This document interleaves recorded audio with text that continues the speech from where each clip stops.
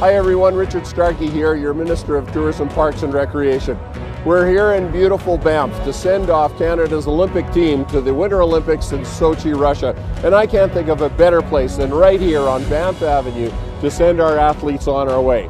We're very honored to be hosting the 2014 Celebration of Excellence here in Banff and in Calgary, where Alberta will be at the center of Olympic excitement as it builds from coast to coast to coast across our country.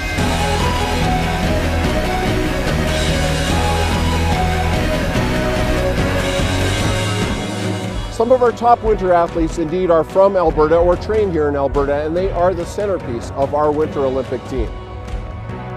Part of the reason why we have such great athletes is that we have world-class facilities. Many of them are located within our parks, where our athletes train and hone their craft and where they've developed the skills to reach the excellence that they have today.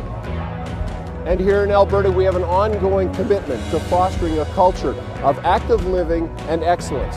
And that's what puts our athletes at the top of the podium in national and international competitions year after year, and of course at the Olympics every four years. And so on behalf of all Albertans, to our Alberta athletes and to our Canadian Olympic team, good luck in Sochi. We know you'll do us proud, and go Canada, go. The Moose!